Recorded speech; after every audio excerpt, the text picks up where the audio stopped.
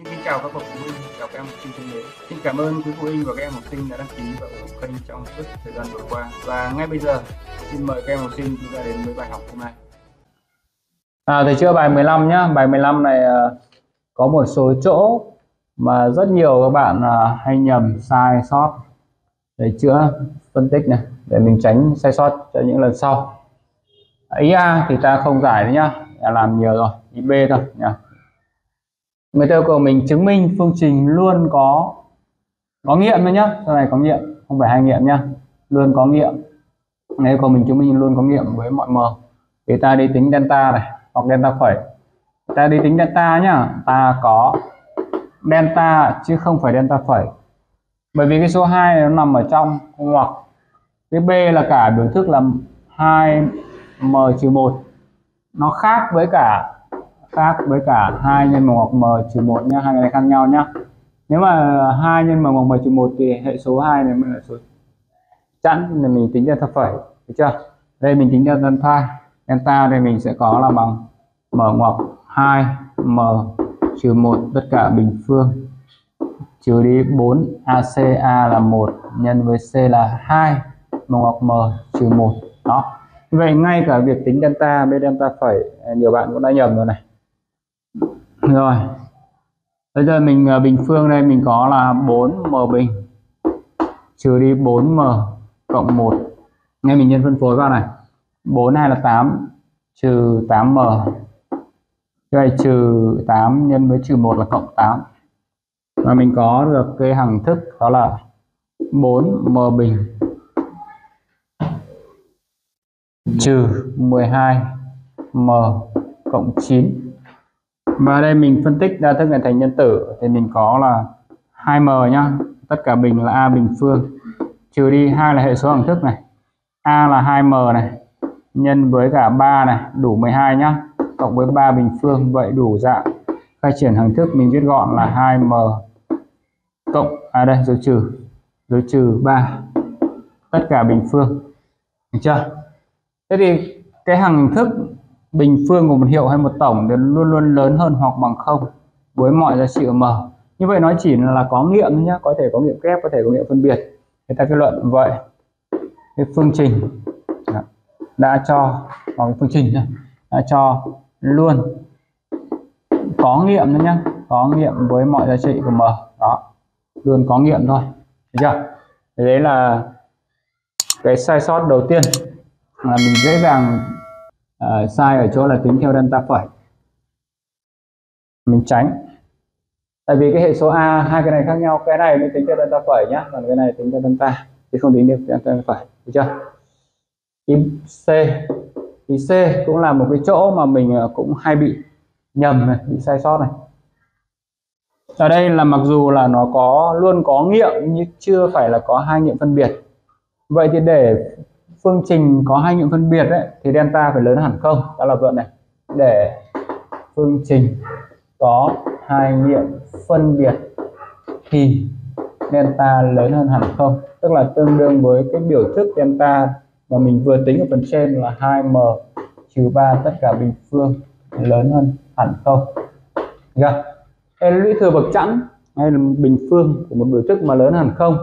Thì con lưu ý cho thầy là 2m trừ 3 là cơ số phải khác không Được chưa? Nhớ nhá, nhớ kỹ chỗ này nhá, chỗ này tránh sai sót này, anh nhầm này. Và khi đó thì mình sẽ có là 2m sẽ khác 3, tức là tương đương với m khác 3 phần 2. Đó. Chứ không phải là luôn có hai nghiệm phân biệt với mọi giá trị m nhá. Chỗ này là cần chú ý này. Kẻ ở đây chú ý chú ý này. Đó, một số cái chỗ mà mình cần lưu ý để tránh sai sót mất điểm rất đáng tiếc. Rồi khi đó thì mình mới tính theo VS theo hệ thức VS thì mình có x1 cộng x2 bằng x1 nhân x2 bằng x1 cộng x2 bằng trừ b trên a. A là một thì đẹp rồi là trừ mở ngoặc 2m trừ 1 hoặc là viết là trừ 2m cộng 1 ta cứ viết như này đi. C trên A là 2 nhân mở ngoặc m trừ 1 còn theo đề bài. Theo đề bài.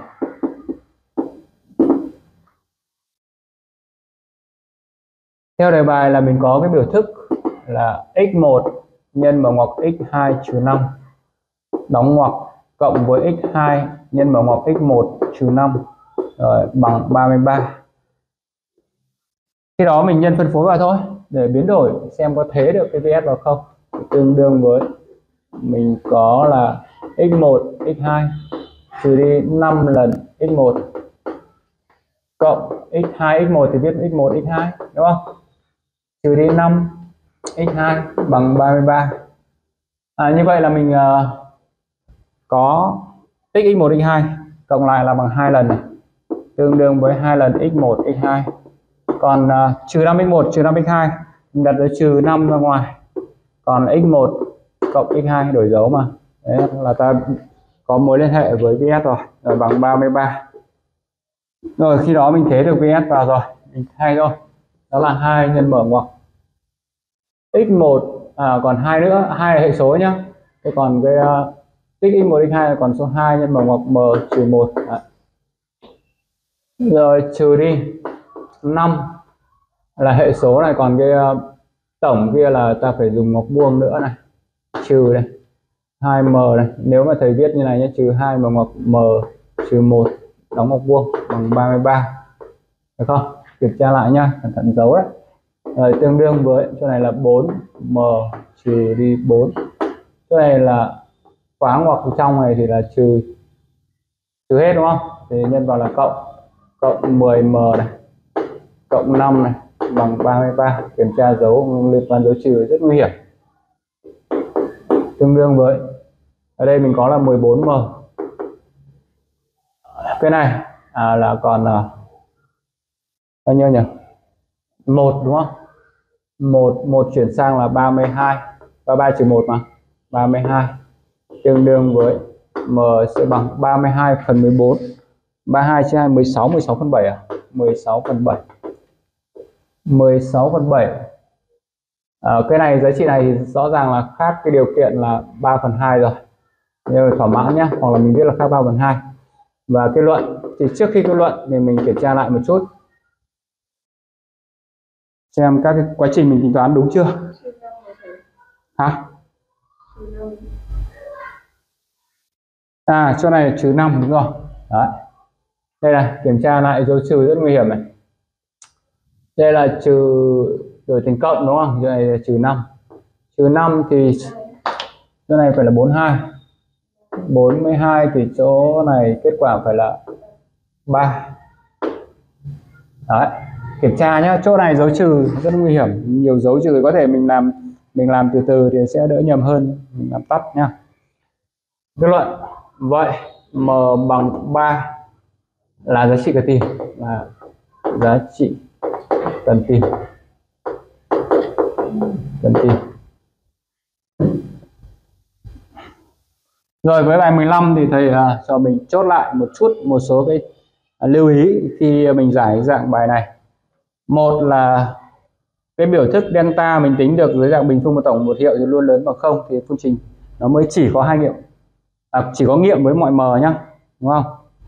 Còn à, để phương trình có hai nghiệm phân biệt thì cái biểu thức delta đã phải lớn hẳn không? Và với dạng này rất nhiều bạn kết luận luôn luôn đúng với mọi m là sai kể cả học sinh khá giỏi cũng hay nhầm. Ờ, mình ờ, phải lưu ý là cơ số ờ, của, nó phải khác không? Thế thế nào? Đây là chỗ chú ý nhá. Rồi trong quá trình mình làm ấy thì để ý các dấu trừ mình cũng tính toán cũng hay bị nhầm. Do đó mình phải cẩn thận một chút nữa đúng không? Là tránh sai sót. Không là mình biết cách làm mà mình làm nhầm một chút ừ, mất điểm rất đáng phí. Rồi, ta tiếp tục với các bài tiếp theo. Bài 16 đi.